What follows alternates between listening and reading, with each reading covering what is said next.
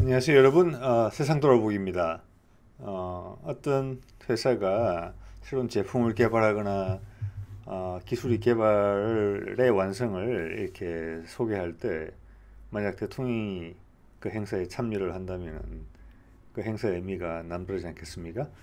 그리고 그 기술이 의미하는 바가 최소한 그 회사 차원은 넘어서겠죠. 예. 오늘은 그러한 기술을 하나 다뤄보겠습니다. 바로 두산중공업이 언제죠? 어, 작년 9월 달에 발표한 세계 다섯 번째로 개발했다고 하는 가스 터빈 엔진에 대한 내용을 다뤄보겠습니다. 음.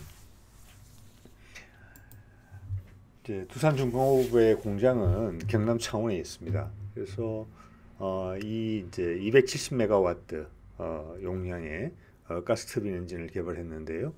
음, 하나의 가격이 한 뭐 900억에서 해서 한 1000억 원 정도 한다고 합니다. 그래서 미국, 독일, 일본, 이태리 다음에 이제 우리나라가 다섯 번째 아, 자체 설계하고 어, 제작한 그런 가스 터빈 엔진이 되겠는데요. 어, 두산의 발표에 따르면은 국산화율은 이제 90% 된다고 합니다.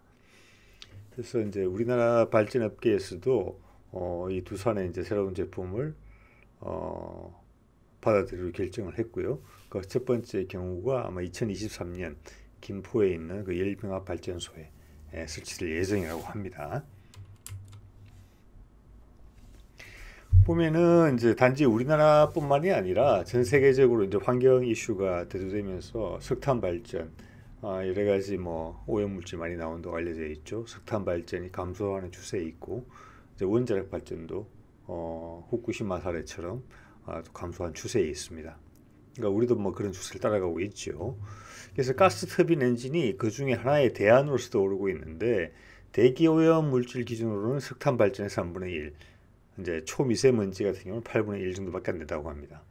그래서 요즘 뭐 언론 보도상으로 여러분 가끔 들어보시는 경우가 있으실 텐데 뭐 LNG 또는 복합 화력 또는 열병합 발전소 예전에 화력 발전소에 비해서 훨씬 소규모 규모로 어, 각 도시 거의 도시별로라고 할 정도로 군데군데 이제 많이 지어지고 있는데요. 거기에 들어가는 전기를 생산하는 발전기가 아, 가스터빈 엔진으로부터 동력을 얻습니다.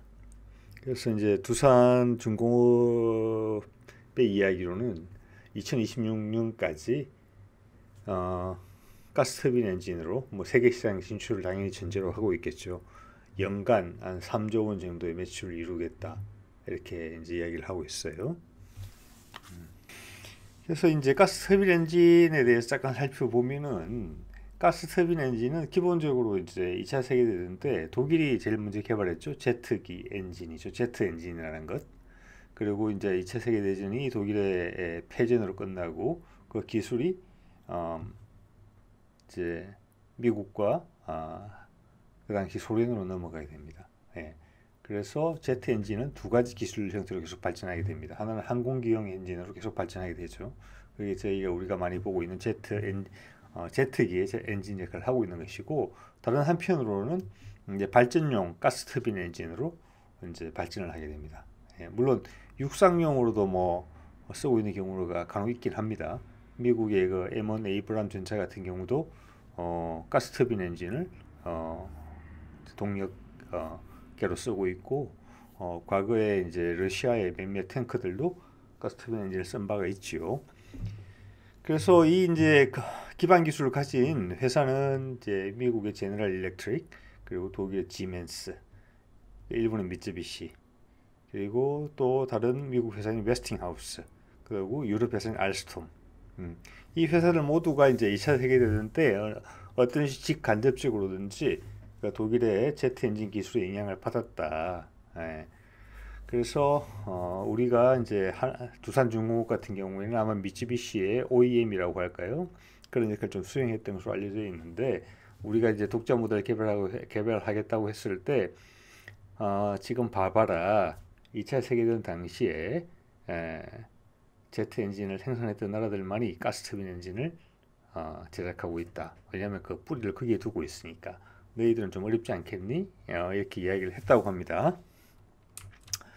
그래서 저는 이제 그 말을 처음 듣고 일본이 2차 세계대전 때 제트 엔진을 만들었나 하고 좀 찾아봤더니 그 당시 이제 독일하고 그 주축국으로서 연합국이 연합국이었지 않습니까? 일본이 이태리와 같이 그래서 아마 그, 그 당시 일본이 앞서 있던 조선 배를 만드는 기술을 좀 전수해주고 어, 독일의 에, 그 제트 엔진 기술을 들여왔다고 해요. 그래서 이제 본격적으로 참전할 정도로 대량 생산이 이루어지지 못했지만은 음, 초기 수준의 아, 제트 엔진을 장착해서 비행기를 시 제작했던 일은 있었더라고요. 보니까. 음. 현재 우리나라에는 뭐 150여 기 정도의 가스터빈 엔진이 있고요. 그거를 이제 구입하거나 유지 보수하는데 연간 5천억 원 정도를 지출하고 있습니다. 그 대부분은 이제 외국 회사로 나가는 것이고 그 가스터빈 엔진의 그 핵심 부품이 그 터빈에 있는 날개입니다. 그러니까 고온에 견뎌야 되는 부분이거든. 한 발전용 터빈 엔진 같은 경우는 1,500도, 1,500도 정도까지 올라가기 때문에 아, 그 5, 6년마다 교체를 해야 되는데 그 비용도 좀 만만치가 않고 이제 배보다 배꼽이 큰 경우라고 그래요. 전체 유지 비용을 봤을 때. 그리고 외국에서 이 교체를 위해서 방문을 하는 경우에는 아예 뭐 커튼까지 치고 우리나라 기술진이 이제 보지 못하게 한 상태에서 수리를 한다고 하는 이야기도 있습니다. 그래서 여기서 이제 두산 중공업에 대해서 말해보면은 두산은 지금 두산 그룹 자체가 상태가 아주 좋지가 않죠. 뭐 회사가 상태가 좋지 않다고 했을 때는 다 뭐 뻔한 이유지 않겠습니까? 빚이 너무 많은 것이죠. 두산 중공업 자체는 영업 이익을 조금씩은 내고 있지만은 빚을 갚고 이러다 보면은 어, 뭐 적자인 거죠. 순이익이라는 면에서는. 그래서 이제 두산중공업은 두산그룹의 핵심적인 회사이고 그래서 최근에는 이제 채권단하고 이런 약속을 했다고 합니다. 2023년 6월 말까지 아, 두산 계열사를 다 팔아서 돈을 갚겠다. 그리고 그때까지 이제 계열사의 매각이 아, 제대로 진행되지 못하는 경우에는 처분 권한을 채권단에게 맡기겠다. 음, 이런 약속까지 한 상황으로 현재 두산중공업은 아주 힘든 상황입니다. 두산그룹도 당연히 힘든 상황이고요. 예, 두산중공업이 메인이니까.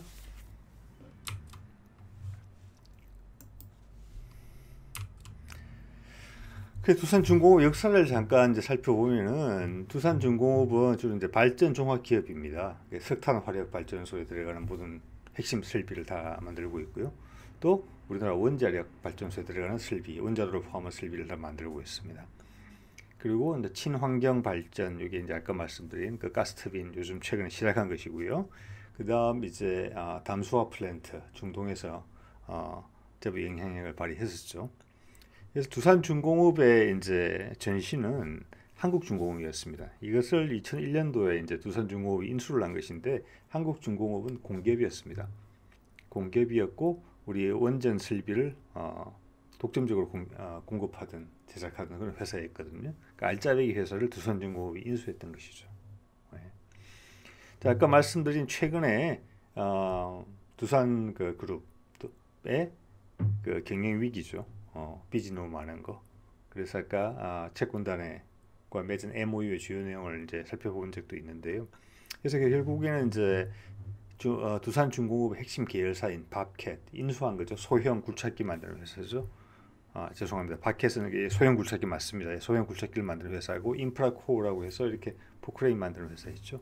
이게 어떻게 보면 이제 두산 중공업의 계열사로서 알짜배기 회사들인데 이게 이미 매물로 나와 있고 그래서 결국 두산 중공업은 이제 발전 설비 이 부분에 이제 에, 물 핵심으로 해서 살아남게 될 것 같은데 이거에 대한 주요한 원인으로는 두산 중공업이 왜 이런 처지에 처했나 또는 뭐 두산 그룹이 왜 이런 처지에 처했나 하는 것은 아, 몇 가지 이유가 있는데 제가 보기에는 이 순서대로인 것 같아요. 두산중공업은 아마 창업자의 의지에 따라서 형제간에 돌아가면서 회장 자리를 맡아왔죠. 근데 그 와중에 이제 형제의 날이 한 번 있었죠. 예, 크게 형제 난이 있었고 어, 이전 어, 형이 이제 밀려나고 동생이 그걸 차지했고 그 과정에서 뭐 고소 고발건이 있었고 물론한 이전 회장이 뭐 다른 사업을 하다가 아, 자살로 비극적인 운명을 좀 맞이한 적도 있고요. 그리고 이제 새로, 새로 들어, 들어선 회장도 여러 가지 무리를 일으키면서 이제 물러난 상태고.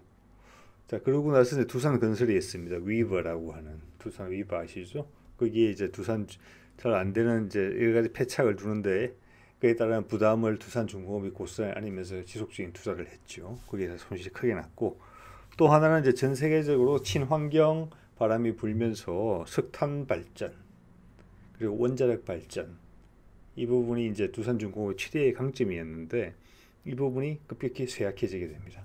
그래서 매출 감소가 있었죠. 어, 이런 것들이 여러 가지 겹치면서 두산중공업의 현재 위기는 이제 왔고요. 하지만은 우리나라 전체 입장에서 즉 대통령이 봤을 때는 두산중공업은 상당히 중요한 회사죠. 예. 그 주인이 뭐 두산자를 붙이고 있든 아니든지 간에 현재로 봐서는 어, 두산이 이 그룹을 이 회사를 운영하도록 일단은 기회를 주는 것처럼 저한테는 보여요. 그래서 뭐 이 회사가 중요하다. 대통령의 입장에서는 왜냐 원전 기술을 가지고 있잖아요. 유일하게 우리한테 우리한테서 한국형 표준 원전을 생산하는 회사입니다. 그래서 지금 이제 원전 기술은 대규모에서 소규모 스마트 원전 이런 식으로 옮겨가고 있고 저희가 또한 국방 국방면에서 보면은 음, 원자력 잠수함, 핵 추진 잠수함 건설을 이미 거의 공개적으로 어, 발표한 거나 마찬가지 아니겠습니까? 이게 들어가는 원자로를 개발한다고 했을 때 그 기술은 어, 영국 기관에서 가지고 있다 하더라도 실제 생산을 맡을 기업은 어, 두산중공업이 1순위로 꼽힌다고 봅니다. 음, 이런 기술을 기반 기술을 가진 회사고요. 그 다음 아까 말씀드렸다시피 제트 항공기용 제트 엔진 기술에서 파생돼 나온 것이 어, 가스 터빈 기술입니다. 1500도씨까지 견디는 내열 소재, 예, 가스 터빈을 어, 개발해야 했기 때문에 이 내열 소재에 대한 아, 개발에 대한 열의가 있었고 이런 중소기업과의 협의를 통해서 우리가 1500도씨까지 견디는 터빈 날개와 관련 부품들을 개발해낸 것입니다. 네. 그 기술을 또 가지고 있는 것이고요. 네. 또한 이제 최근에 발표됐죠. 전남 신안 앞바다에 48조 원이라는 거액을 투자해, 투자 해서 2030년까지 어, 풍력 발전단지 세계 최대의 풍력 발전단지를 짓게 됩니다. 여기에 보면은 풍력 발전기가 들어가게 됩니다. 그것이 또한 두산이 어, 핵심 기술을 보유하고 있는 그런 회사가 되겠죠. 자, 이게 이제 아까 내열 기술 말씀드렸죠. 1500도씨까지 견뎌야 됩니다. 압축된 공기가 제트 엔진을 통과해서 연료와 섞이면서 폭발을 하게 됩니다. 그럼 폭발하면서 엄청나게 부피가 커지죠. 팽창을 하죠. 그러면서 뒤로 내뿜게 됩니다. 그럼 작용 반작용의 힘으로 이제 앞으로 밀려나게 되는데 터빈 엔진, 이 발전소용 엔진 같은 경우에는 그것으로 터빈을 돌리게 되는 건데 어, 제트 엔진, 항공기용 엔진 같은 경우는 그걸 공기 중으로 내뿜게 되는 것이고요. 여기에 보면 성일 터빈이라는 회사가 나옵니다. 들으신 분 계실지 모르겠습니다. 부산에 있는 조그만 회사입니다. 이 회사에서 어, 대기업 두산중공업에서 또 실패한 그 터빈의 어, 내열 코팅 기술을 어, 국산화시켜냅니다. 1500도씨까지 견디는 거예요. 네. 이 핵심 기술을 가진 회사입니다. 어, 성일 터빈 사장이 이야기를 했죠. 두 군데 대기업에서 실패한 기술이라고. 그 중에 한 군데는 분명히 두산중공업이고 나머지 한 군데는 제 추정컨대는 한화 에어로스페이스가 아닌가 합니다. 우리나라에서 어, 항공기 엔진을 주로 생산하는 업체죠. 음. 일본 같은 경우에는 최근 어, 한몇 년 좀 지난 이미 개발이 완료된 것 같아요. 최근에 XF9이라는 엔진을 개발했고요. 이 터빈 온도가 우리는 1,500도씨라고 말씀드렸습니다. 1,800도까지 어, 가능한 엔진을 개발을 했어요. 여기서 온도가 높아지면은 공기라는 것이 기체라는 것이 온도가 높아지면 부피가 더 팽창합니다. 즉 작용 반작용에서 어, 작용의 힘이 훨씬 더 크게 될 수 있는 것입니다. 같은 크기에 있어서 그래서 고출력을 낼 수 있는 것이죠. 그래서 전투기용 엔진으로는 1500도씨 정도가 실용적인 선에서는 시작이고 1500, 1600, 1700, 1800도로 올려가야 되는 것이고 우리도 전투기 엔진에 우리나라도 직접 개발을 해야 된다고 보면은 어, 이게 이제 우리의 지향점이라고 할 수 있는 것이고 일부는 어, 그걸 좀 이뤄낸 것이죠. 예. 그래서 우리나라에 그러면 과연 아, 우리나라도 물론 아, 제트 엔진을 개발하고 있습니다. 그래서 그 부분도 상당히 중요한 부분인데요. 현재 우리나라는 5,500파운드급 무인 제트기용 어, 터보팬 엔진 코어라고 합니다. 압축하고 연소시키고 그 다음 터빈까지 그 부분 핵심이 되는 핵심 부분을 5,500파운드 정도의 추력을 낼 수 있는 것을 만들었어요. 무인 어, 전투기이기 때문에 소형이죠. 그래서 이 정도 추적이면 일단은 충분할 것 같아요. 지금 이게 완성됐다는 것은 뭐 여기서 추력을 늘릴 수 있는 것이죠. 아까 말한 내열 소재 등등 여러 가지를 해서 참고로 우리의 그 FA50, F50 우리가 개발한 그 연습기 있죠. 훈련기 있고 공격기로 쓰는 여기는 12,000파운드 엔진 한 개 들어가고 KFX 곧 시제 1호기가 나오죠. 13,000파운드의 엔진 두 개를 가지고 있, 는 것입니다. 그래서 이 5,500 파운드 엔진이 이제 에, 하나 했다는 큰 고비를 넘었다는 것이죠. 어, 향후 이제 더 추력이 강한 엔진 쪽으로 개발이 되겠죠. 그래서 한화 에어로스페이스 같은 경우도 본인들이 우리도 1만 파운드 정도 엔진을 만들 수 있다 이야기를 하고 있지 않아 있죠. 한화 에어로스페이스는 어, 유럽이나 미국 어, 항공기 제작 회사 또는 엔진 제작 회사의 신뢰를 받고 있습니다. 그래서 뭐 쉽게 말해서 OEM으로 조립 생산을 많이 해주고 있습니다. 음, 그래서 많은 부분의 기술 축적이 이루어졌다고 볼 수 있습니다.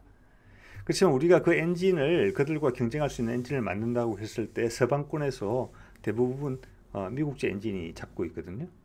그 조그만 부분을 유럽제 엔진이 잡고 있고 우리가 엔진을 개발을 하다가 팔, 팔 데가 없습니다. 그렇지 않다면은 우리가 카이나 그 대한항공에서 항공기를 많이 생산해서 거기에 우리 엔진을 실어주면 되는데 그런 상황도 아니지 않습니까? 예. 그럼 기존에 있던 엔진 어, 고객들마저 다 떠날 가능성이 있는 것이죠. 그런 면에서 무인기 엔진이라는 것은 새로운 시장이고 지금 무인기나 드론이 앞으로 어, 이제 국방 분야나 그 외 상업 분야에서 파이가 커질 것으로 예상되죠. 아직까지 경쟁이 약한 부분입니다. 그래서 그 부분은 상당히 좋은 선택인 것 같아요. 그 부분 새로운 시장이 만들어지고 기존 플레이어들이 적은 부분이기 때문에 무기 시장 설정을 잘한 것 같고 필요하다면 거기에서 이제 전투기 엔진으로 어, 어 이제 개발하는 그 디딤돌이 될 것이니까요. 여기에는 이제 음, 다만 하나만 그런 생각을 하고 있는 건 아닙니다. 카이 국영 기업이긴 하죠. KAI가 최근에 이제 중형 수송기를 만들겠다 이런 주장을 한 바가 있습니다. 왜 그렇겠습니까? 처음에는 중형 민항기를 만든다고 그랬죠. 근데 민항기 시장 경쟁이 치열합니다. 중형 항공기, 군용기입니다. 정부에서 구매할 가능성이 크죠. 그리고 또 하나, 한화 에어로스페이스에서 개발 중인 엔진을 업그레이드 했을 때 예, 터보팬 엔진을 더 큰 팬을 달아서 한, 어, 수송기용으로 적당한 엔진을 충분히 개발할 수 있거든요. 일본처럼 했을 때 그 수요처가 될수 있다는 걸 알기 때문에 이런 주장을 내건 것입니다. 즉 엔진 산업 제트 엔진 한번 개발해 봐라 정부야. 그리고 한화 스페이스 개발해 봐라. 그리고 나 그래도 내가 수요가 내가 기체를 만들어 줄 테니까. 예. 이렇게 해서 입지를 하는 것이죠. 예, 예. 그렇게 보시면 되겠습니다. 그래서 뭐 전자전기도 이걸 바탕으로 만들 수도 있고 해상 초계기도 만들 수 있지 않느냐. 즉 우리 보고 전투기용 또는 군용 항공기용 대형 터보팬 엔진을 개발해 봐라라고 부추기는 것입니다. 그러면서 본인들도 그 배에 같이 올라타겠다. 예. 이런 주장을 하는 것이죠. 자, 그럼 두산 이게 중요한 회사입니다. 아, 우리나라 입장에서는. 그래서 전남 신안군 해상 풍력단지 2030년까지 48조 원이라는 엄청난 금액이 투자되죠. 8.2 기가와트를 생산할 예정인데 완성되면은 우리나라 한국 표준 원전 6기가 생산하는 양이랑 같습니다. 서울과 인천에 사는 사람들이 모두 쓸 수 있는 양입니다. 현존 영국 최대 단지인 영국에 있는 최대 풍력 단지보다 7배가 크다고 합니다. 음. 현재 두산이 개발 중인 것이 8메가와트급, 현용은 사진 속에 보이는 3메가와트인데 8메가와트급 개발한다고 합니다. 바람개비 직경 하나가 205m니까 엄청난 크기죠. 자, 그래서 이제 풍력 발전 같은 경우도 그 내수가 한 1기가와트 정도 되면은 내수 시장으로서 먹고 살 수 있는 수지 타산이 맞는 정도가 된다고 합니다. 그게 넘어서야지 이제 내수를 바탕으로 해외 시장 진출을 한다는 것이죠. 예. 그 정부에서 그 시장을 만들어 주겠다는 것입니다. 10기가 동안. 음. 기회를 준 거죠. 당신들이 경영을 잘못해서 이렇게 어려워졌지만은 음, 중요한 회사니 기회를 준다. 음, 두산이라는 이름으로 한번 해보시오. 음, 저는 이렇게 봅니다. 예. 그게 대통령이 아, 두산을 방문한 이유. 그게 두산의 박지원 회장과 악수를 한 웃으면서 악수를 한 이유가 아니겠습니까? 네, 오늘 여기까지 하겠습니다.